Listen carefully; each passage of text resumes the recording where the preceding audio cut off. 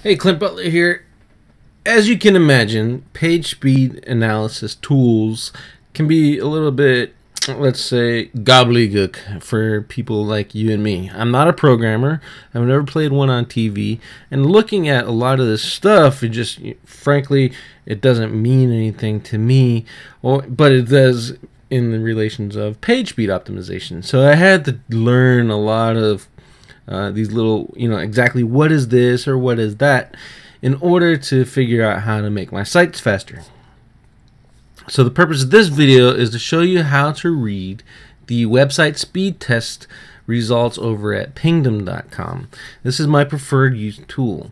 Now, as you can see from the site, I've already run the test on this, uh, and it's the results are from the Stockholm, Sweden test server, which is no big deal because I just want to get the baseline of what's going on here, right?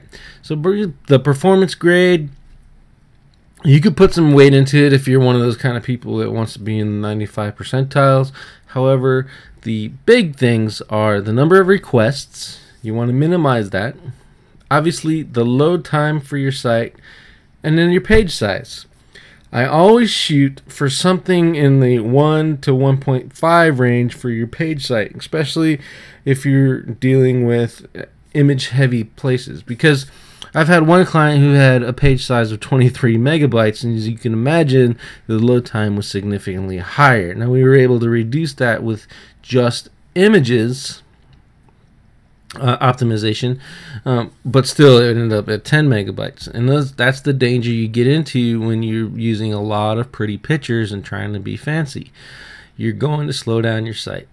So your goal should be anywhere between 1 to 1.5 megabytes. 2 is, you, you know, obviously we're pushing it with 2. So we want to look at the waterfall and basically what this does is it says here's the resource that we're pulling and this is how long it took to get and then it'll go through and get it and show it.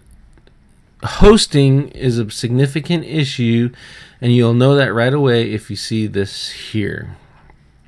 What it's saying is the server is responding really slow and it's taking almost five, yeah, probably about five seconds for the server to say, hello, here's the website and now you know you have a hosting issue. If this is a long, if this takes a long time to uh, populate, you have a hosting issue. You, you need a better host.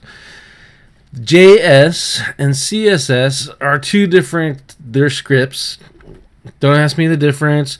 I know this is what makes the site look pretty, and this is what makes the site do stuff, is the way that it was always explained to me.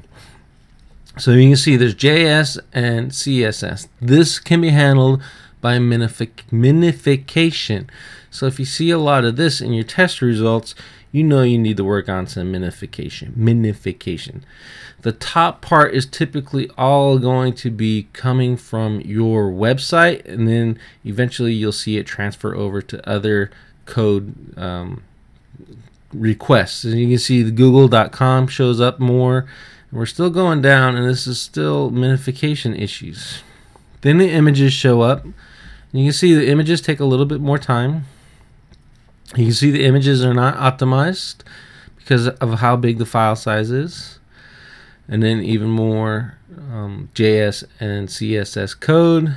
And we're going to keep going, keep going. Again, images, more code, more images. And now we're into third party stuff. So Third party stuff. One, Google.com and their API is notoriously going to slow down your site. So, you know, look for that. Look for uh, your plugin for social media. Look for Facebook. If you're using Google Comments, look for those. You have 10 or 15 things loaded in here. And those are all things that you can, you know, you have to decide whether you want or not. Scrolling back to the top real quick, here's a performance grade, just kind of give you an idea of what's going on. Leverage browser caching here is the, in this case, is bad. Some test tools pick up the proper leverage browsing, whether you have it um, engaged or not. It'll tell you you don't. So, you know, just make sure you do.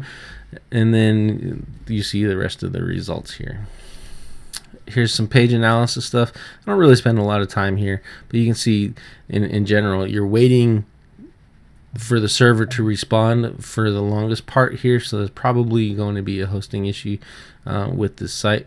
We'll do some other automation stuff in the main videos inside Local Profit Breakthrough.